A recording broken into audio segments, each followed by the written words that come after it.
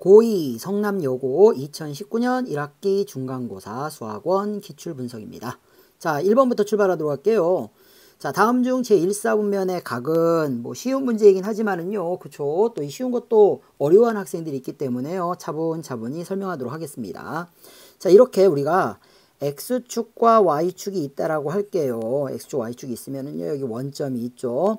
자, 이때에 OX를 기준으로 그러니까 요거 이제 우리가 보통 시초선이라고 하는데요. 사실 시초선은 잡는 거에 따라서 그때그때마다 달라지긴 합니다만 일반적으로 이제 X축을 시초선으로 많이 잡습니다. 그랬을 때에 자 시계 반대 방향으로 가는 게 이제 플러스가 되고요. 그쵸? 시계 방향으로 가는 게 마이너스가 됩니다. 자 0도가 있고요.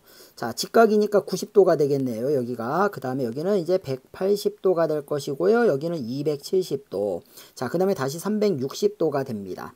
자 그런데 이렇게 나타내는 게 이제 60분법이고요. 자, 이거를 이제 실수로 우리가 나타내는 값이 있습니다. 그래서 자, 우리가 이제 여기가 0이면은요. 0.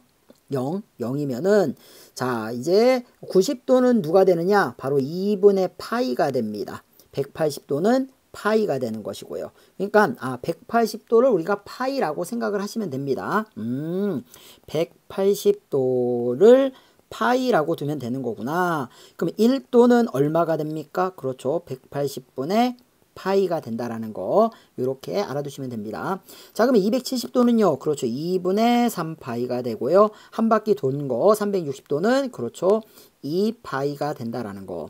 자 이때에 0도와 90도 사이를 우리가 제1사분면이라고 하고요. 자, 90도와 180도 사이를 제2사분면. 그 다음에는 자, 이쪽을 우리가 3사분면. 자, 270도랑 360도 사이를 제4사분면이라고 하고요. 주의할 거는요. X축과 Y축 위에 있는 점은 어느 사분면에도 안 속합니다. 자, 그래서 우리가 이제 그쵸? 동그라미 1번부터 한번 보게 되면은요. 이렇습니다. 마이너스 3파이라고 돼 있어요. 마이너스 3파이는요. 그쵸?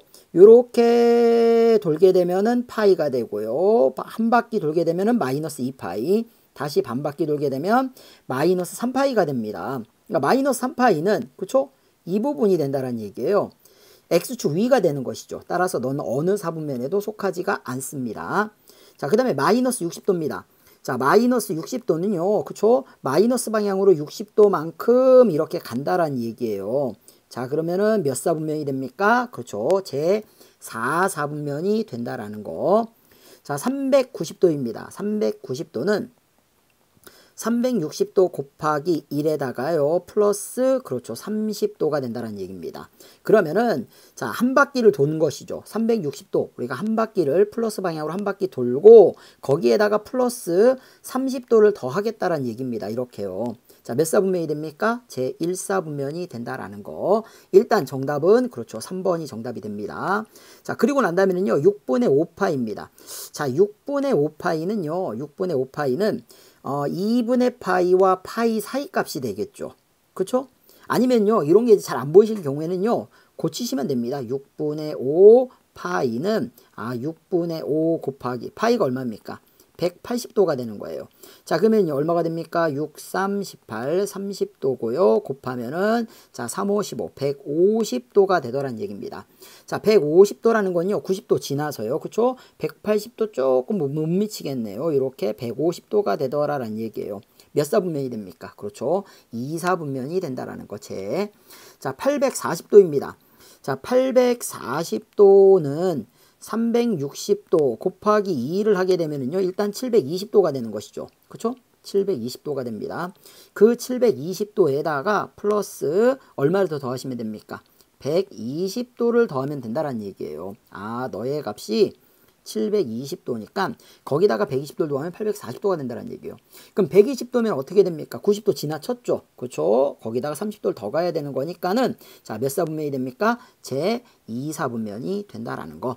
자, 이렇게 해 가지고서요. 우리가 어, 정답은 3번이 정답이 된다라는 걸 알 수 있고요. 자, 여기서 일단 우리가 알아둬야 되는 건요. 그쵸?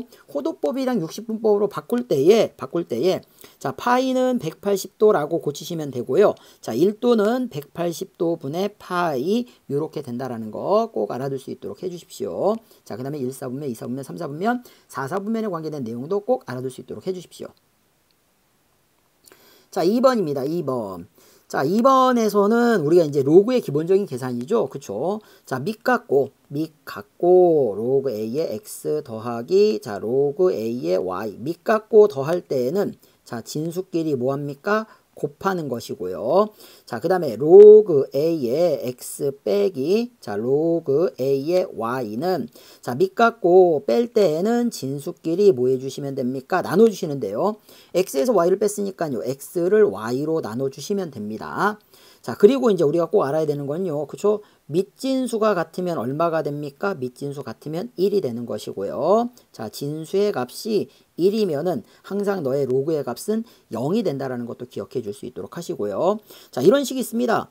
밑에도 그렇죠. 지수가 달려 있고요. 진수에도 지수가 달려 있는 경우에 자, 요 지수들이 앞으로 나갈 수 있는데 지수들이 앞으로 나갈 수 있는데 자 밑에 있는 것은 밑으로 가고요. 자 그 다음에 위에 있는 것은 밑 위로 갑니다. 따라서 로그 A의 B가 된다라는 거. 자, 기본적인 로그의 연산이니까요. 꼭 기억할 수 있도록 하시고요. 뭐 이 문제는 이렇게 풀어주시면 됩니다. 자, 로그 6에 12 더하기 자, 로그 6에 그 다음에 3이라고 되어 있습니다. 자, 밑 같죠? 자, 로그 더하기 로그니까요. 진수의 곱이 됩니다. 그럼 12 곱하기 3이 되는 것이니까 자, 너의 값은 로그 6에 자, 36이 되는 것이고요. 자, 로그 36은 자, 6의 제곱이 됩니다. 자, 그러면은 자, 요 2는 앞으로 나갈 수 있는 것이죠. 그럼 2의 로그 6에 6이 되는데 자 밑진수 같으면 얼마가 된다라고 했습니까? 1이 되는 것이니까요. 그쵸 1은 곱하나 마나가 되겠네요. 따라서 정답은 그쵸 2. 자 2번이 정답이 되겠습니다. 자 3번입니다. 3번. 자, 이제 부채꼴에 관계된 내용이 등장을 했는데요. 자, 우리가 이렇게 부채꼴이 있습니다. 부채꼴이 이렇게 있고요. 자, 이제 알아두셔야 되는 게요. 중심각 세타가 있고요. 반지름 자 R이 있습니다. 두 가지 내용을 물어봅니다. 우리가요. 첫 번째는 그쵸 바로 요 호의 길이 호의 길이 L은 누가 됩니까? R 세타가 된다라는 거. 자, 그 다음에 두 번째 부채꼴의 넓이입니다. 부채꼴의 넓이. 자, 부채꼴의 넓이 S는 누가 됩니까? 2분의 1의 R제곱 세타 또는 자 여기서 이제 R 세타가 L이라고 했지 않습니까? 갖다가 대입을 하시면은 2분의 1의 R에 자 R 세타 대신에 L이 들어갈 수도 있더라라는 얘기입니다. 자 중요한 식이니까 반드시 꼭 외워줄 수 있도록 해주시고요. 자 그러면은요 주어진 우리 이제 그쵸? 음, 조건 따지면서 하나씩 보도록 하겠습니다. 반지름의 길이가 2라고 돼 있습니다. 반지름의 길이. 자 R이 2가 돼 있는 것이고요. 중심각의 크기가 주어져 있어요. 자 세타가 2분의 3 파이라고 되어 있습니다. 자 이때에 첫 번째 호의 길이. 자 L은 R 세타가 되는 거니까요. 자2 곱하기 2분의 3파이가 되어서 자 이 약분되는 거니까 누가 됩니까? 3파이가 된다라는 거. 자 이렇게 해서 이제 일단 L을 구했습니다.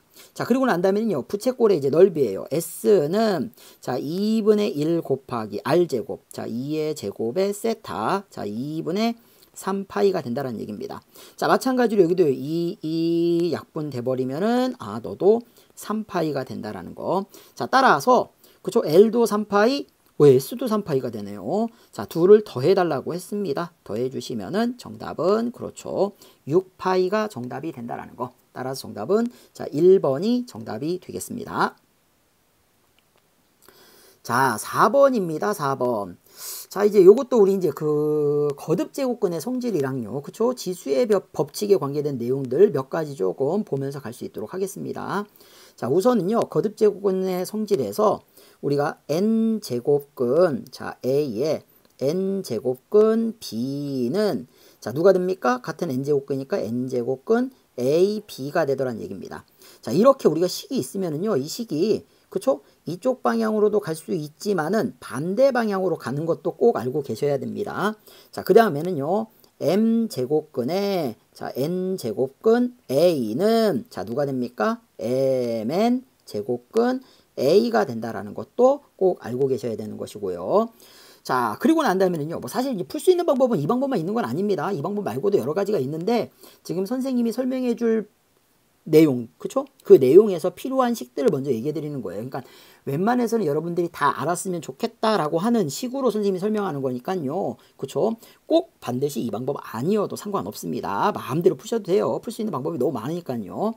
자, 그 다음에는요, 우리가 어, 지수의 법칙에서 이제 보면은요, 지수가 확장되면서 거듭 제곱근이 있습니다. 이렇게요. 거듭 제곱근, n 제곱근 a는 분수 지수가 되는 것이죠. a의 n분의 1 제곱이 된다는 얘기입니다.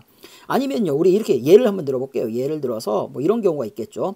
자, 5 제곱근, 자, a의 세 제곱은 자, 누가 되는 겁니까? a의 요게 요게 요게 바로 그쵸 분모 자리로 들어가셔야 돼요. 따라서 넌 5분의 3제곱이 되더라라는 거. 자, 이렇게 기억하셔야 됩니다. 자, 지수 법칙에서 이제 꼭 기억하실 내용은요. 이제 이 식입니다. 바로 어떤 거냐면요. 밑 깎고 곱할 때는 밑 깎고 곱할 때는 지수끼리 뭐 해 주십니까? 더해 주시면 되고요. 자, 밑 깎고 자, 우리가 나눠 줄 때는 지수를 뭐 해 주시면 됩니까? 빼 주시면 된다라는 거. 자, 이 부분도 꼭 기억해 줄 수 있도록 하십시오. 자, 그러면은요, 지금 나와 있는 우리가 이 식을 한번 풀어보도록 할게요. 자, 4 제곱근. 자, 뭐라고 되어 있냐면요. a의 제곱. 자, 곱하기. 자, 우리가 루트 a의 세제곱이라고 돼 있다는 얘기입니다. 그러면 요, 요걸 a, b라고 보게 되면은 결국에 너는 4 제곱근. 자, a의 제곱이 되고요. 자 곱하기 자 이쪽은 지금 얼마가 생략되어 있습니까? 루트란 얘기는 2가 생략되어 있다는 얘기예요. 그러면은 자 이 식에 의해서 자 너는 4제곱근에 또 루트 2가 되는 거니까요. 얼마가 됩니까? 음, 그냥 일단 식을 쭉 써볼게요. 그러면요, 선생님이요. 그러면 4제곱근 너는 아, 루트의 a의 세제곱이 되더란 얘기입니다. 자, 그러면은요, 이 식은 어떻게 되느냐? a의 그렇죠. 4분의 2제곱이 되는 것이고요. 곱하기 그 다음에 이 부분은요. 자, 4에다가 2를 곱하는 거니까요. 8제곱근 자, a의 세제곱이 됩니다. 자, 그렇다는 얘기는요. 결국에 너는 자, 이건 약분되는 거니까요. a의 2분의 1제곱이 되고요. 곱하기 이 부분은 a의 8분의 세제곱이 되더란 얘기입니다. 자, 지금 이제 요 부분만 우리가 정리를 한 거예요. 자, 그리고 난 다음에 이제 나누기 또 누가 있습니까? a의 8분의 1제곱이 있죠. 다시 쓰시게 되면은 결국 이렇게 된다는 얘기입니다. a의 2분의 1제곱 곱하기 a의 8분의 3제곱 나누기 a의 8분의 1제곱이 되더라라는 얘기입니다. 자, 그렇다란 얘기는요. 자, 어떻게 되느냐? 결국에는요. 밑 같고 그쵸 전부 다 같습니다. 곱할 때는 곱할 때는 이렇게 더해 주시면 되고요. 자, 나눌 때는 이렇게 빼 주시면 됩니다.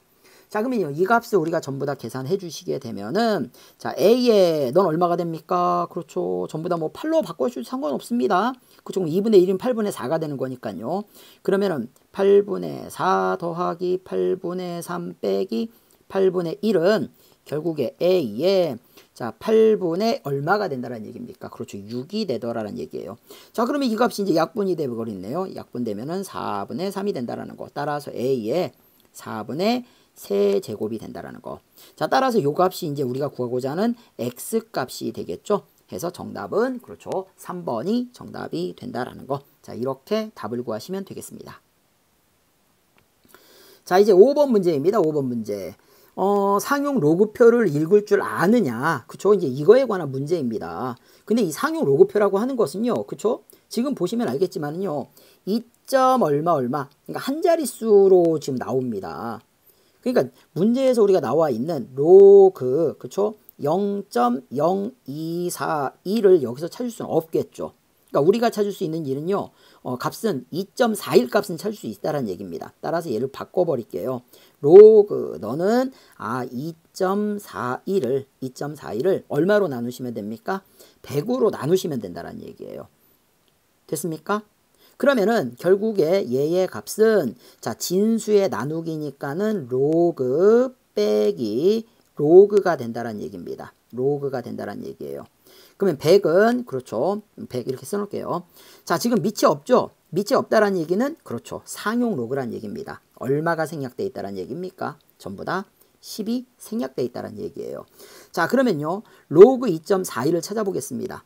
자 로그 로그 자 2.41을 이 상용 로그표에서 읽어봅니다.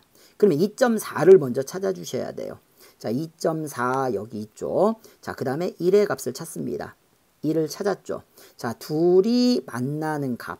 바로 이 값이 되더라라는 얘기입니다. 따라서 아 우리가 로그에 그쵸 2.4 요 부분이 되는 것이고요. 그쵸 1 바로 이 값이 돼서 둘이 만나는 값을 내가 구해주면은 그 값이 바로 로그 2.41의 값이 되더란 얘기입니다. 그러니까 그 값이 0. 얼마가 됩니까? 3820이 되더라라는 얘기예요. 됐습니까? 이 하나 더 들어볼게요. 예를 들어서 이 문제랑 상관없는 겁니다. 자, 로그 만약에 2.54의 값을 구해봐라. 그러면 어떻게 하시면 됩니까? 2.5 여기 2.5가 있죠. 4 여기 4가 있죠. 그럼 2.5와 4가 만나는 너의 값. 아, 이 값이 로그 2.54의 값, 즉 0.4048이 되더라라는 얘기입니다. 됐습니까? 그런데 지금 우린 뭐 결국에는 그쵸 로그 2.41이니까요. 로그 2.41이니까는 갖다가 대입해 주시면 돼요. 따라서 너의 값은 자 0.3820이 되고요. 자 마이너스 로그 100은 얼마입니까? 100은 로그 100. 로그 100은 그렇죠? 로그 10 밑이시고요. 100은 10의 제곱이 되는 것이죠. 따라서 앞으로 가게 되면은 2가 되더란 얘기입니다. 밑 진수 같으면 1 되는 것이니까요. 자, 밑이 생략되어 있다는 얘기는 얼마가 생략되어 있다는 얘기입니까? 10이 생략되어 있다는 얘기예요. 그걸 뭐라고 부릅니까? 우리가 상용 로그라고 부르죠. 따라서 너는 2가 되더란 얘기입니다. 자, 그러면은요. 보십시오. 0.3820에서 2를 빼는 거예요. 2를 뺍니다. 그러면 너의 값을 계산해 주시면 얼마가 나옵니까? 마이너스. 그렇죠? 1.6180이 된다라는 거.